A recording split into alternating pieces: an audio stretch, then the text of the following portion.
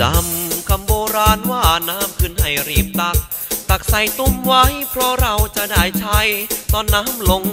น้ำน้ำลงจะขุ่นข้นและแห้งไปจนเราตักไม่ได้เช่นพวกเรานั้นยังมีเวลา เช่นพวกเรานั้นยังมีเวลา ต้องมันศึกษาก่อนจะสายเกินไป จดจำคำโบราณว่าน้ำขึ้นให้รีบตัก ตักใส่ตุ้มไว้ เพราะเราจะได้ใช้ ตอนน้ำลง น้ำน้ำลงจะขุ่นข้นและแห้งไปจนเราตักไม่ได้